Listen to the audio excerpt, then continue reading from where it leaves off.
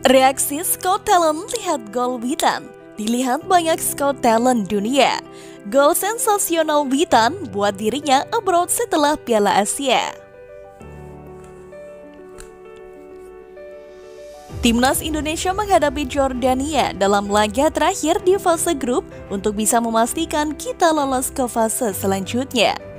Pertandingan Jordania versus Indonesia digelar di Stadion Abdullah bin Khalifa, Doha, Qatar, Minggu 21 April 2024.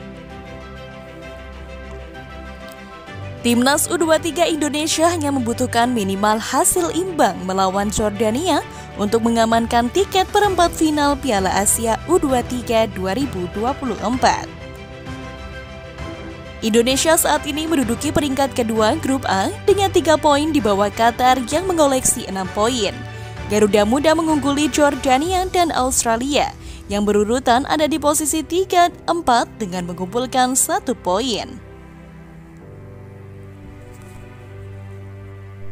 Meski hanya membutuhkan hasil imbang, namun Shin Taeyong tetap menggunakan strategi menyerang sejak awal laga dengan menempatkan Witan, Marcelino, serta Struik untuk mengisi lini depan.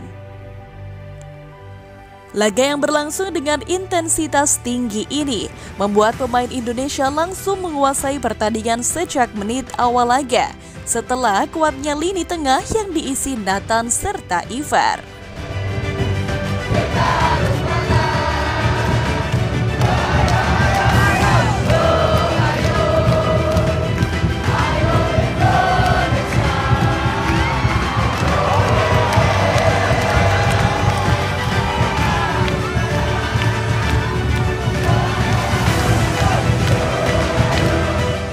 Serangan kuat dari segala lini menunjukkan kualitas Indonesia yang sudah sangat berbeda.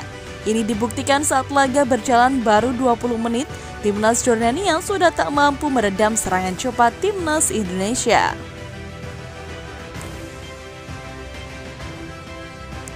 Timnas U23 Indonesia mendapatkan penalti setelah Rafael Struik dijatuhkan back Amr Rasim Jamok di kotak terlarang pada menit ke-21. Marcelino Ferdinand maju sebagai eksekutor dan ia menuntaskan peluang dengan baik, menendang ke arah kanan kiper sementara sang penjaga gawang.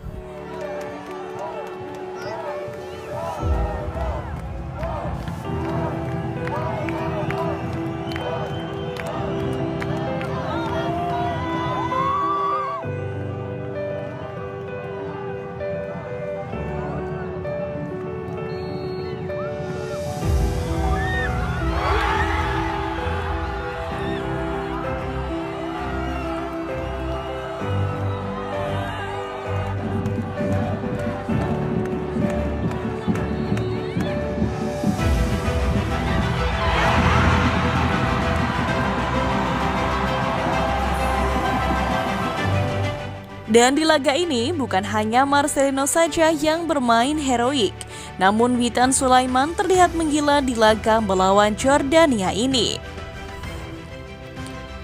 Witan Sulaiman yang bisa dikatakan menggila di laga ini karena sepertinya mendapatkan energi lebih untuk menunjukkan bahwa ia masih belum habis untuk membela timnas Indonesia.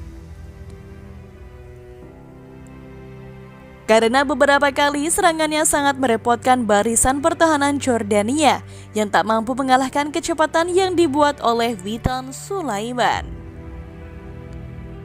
Kecepatan dan teknik tingginya sangat merepotkan pemain Jordania, apalagi saat dirinya mencetak gol yang sangat indah.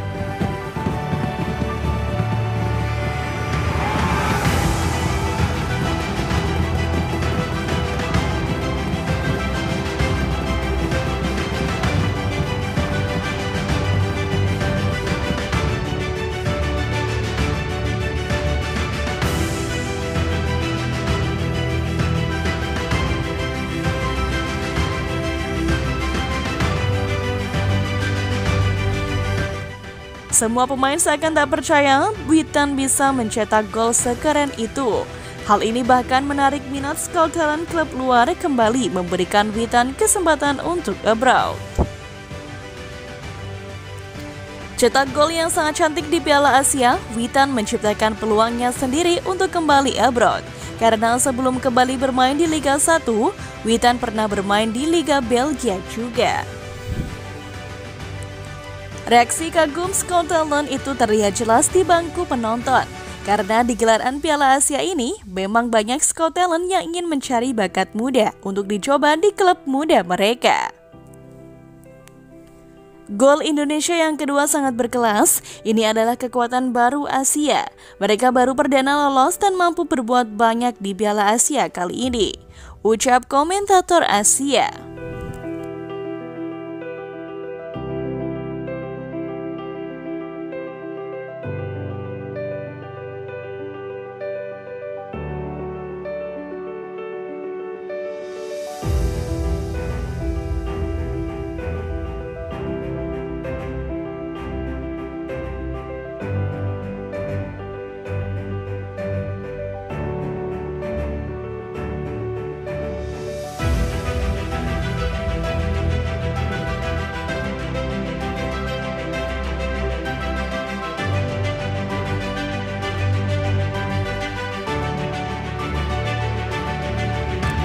Dan seharusnya kita juga bisa mengapresiasi Rizky Rido yang bermain sangat mobile.